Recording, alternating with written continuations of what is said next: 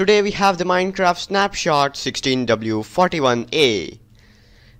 There have been a lot of bug fixes but I am going to be showing you only the observer block changes because it breaks a lot of redstone contraptions okay?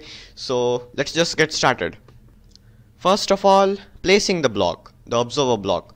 So in the previous snapshots you would place it like this. So the sensor would be facing you that is how you put it in the previous snapshot. So you would place it like this and the sensor would face you.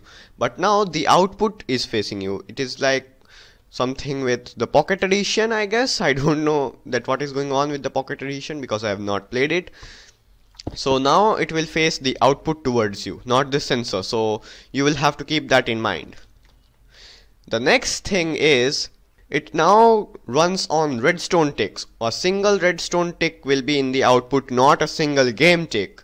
So that means that if I update this, it just extends and retracts. But what it did in the previous snapshot was it would leave this redstone block right here because it was on a single game tick. The output was on a single game tick. So that has been changed. So yeah, some of the contraptions have been broken. As you can see the block gets retracted back. So I'm going to change my contraptions. The designs after the full release is up because these are development snapshots and some features may be changed in these. So you got to look out for that. The next thing is the observer block does not get updated by air blocks. So as you can see we have spaces in these ones. We have redstone here. We have full observer block line right here and repeaters right here. So if I update them all as you can see that these three gets the redstone output but this piston does not get the redstone output. This is because they the observer block now do not take updates from air blocks which they used to do in the previous snapshots the next thing is we have got an extension. Previously you have to put a repeater right here to make the redstone signal go far but now it has been changed to the normal redstone output which is about 15 or 16 blocks probably. So now if I do this if I update this as we can see that is about on the 16th block from here. This is first block and that is the piston is on the 16th block. So the redstone signal from the observer block has been extended. One more thing I wanted to check is whether it takes the liquid levels or not. So if I press this once, as you can see everything is good. So now let's just see. Okay, so it is taking the liquid levels. That means the if the liquid level is going down or up, so this is taking that let me just break this. So the it is that feature is still here.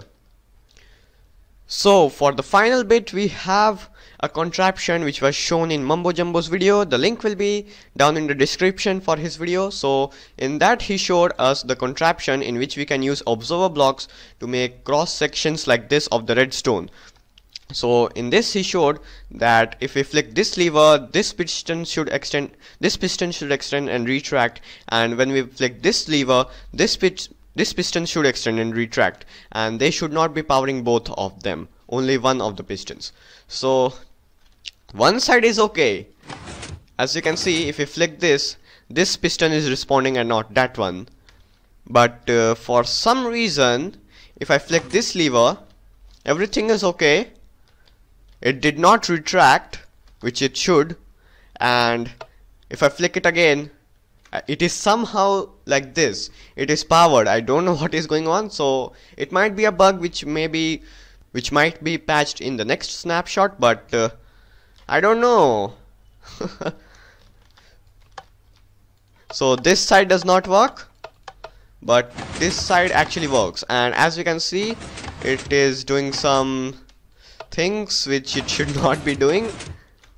So yeah definitely I don't know if we could uh, if it gets patched or not. So these can be changed means the later snapshots which come after this might have these features which are being changed like these uh, game ticks and stuff. I don't know. It might get changed. I don't know about that.